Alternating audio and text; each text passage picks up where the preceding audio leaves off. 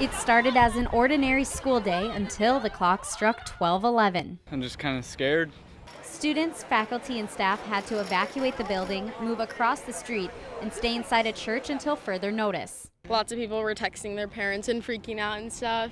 I just think it's pure chaos. Oh gosh, well, scared. I was, thank God I, you know, she, I knew she was safe because she texted me, so thank goodness I got a text from her. Once the students were evacuated from Central Campus, they were bused to Minot's auditorium. That's when hundreds of parents lined up outside the doors to pick up their kids. That was my biggest thought was just come here, get her. I was kind of scared at first, and then when we got up, finally got on the buses, then I knew it was going to be all right. In the mix of the chaos, people had heard different stories about what happened.